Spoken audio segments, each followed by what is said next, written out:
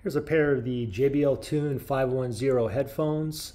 I'm going to show you how to pair it, connect these directly to a Element 4K Smart Xumo TV via Bluetooth.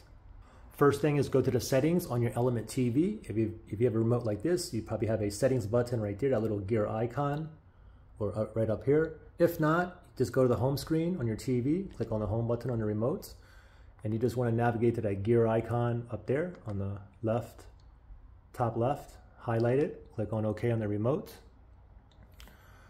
Now from here, we're going to go ahead on the left pane here, we're going to scroll down to picture and sound. Picture and sound right there, OK on the remote. From here, go down to audio settings. So down, down, down, audio settings, OK on the remote. Here, go down to Bluetooth devices. So go all the way down. Bluetooth devices there, OK on the remote.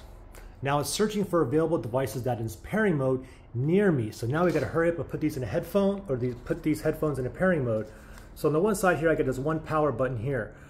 I'll know that it's in pairing mode when the light over here is blinking blue, blue, blue, blue. Okay, so they're currently off. I'm gonna press and hold the power button. Ready, set, go. Press and hold, keep on holding, wait for that blue, hold. There's a white light, white blinking light. Just keep holding. We want blue, blue, blue. There we go. Blue, blue, blue. Now let go.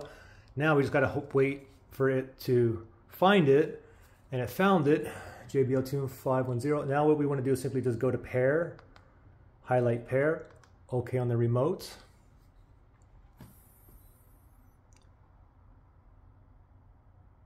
And just wait. What do you know? It says connected right there. Of course, the volume rockers work on the headphones. Now, if you had issues of connecting or pairing these to the TV, you can always factory reset these. If you need to do that, look in the link below.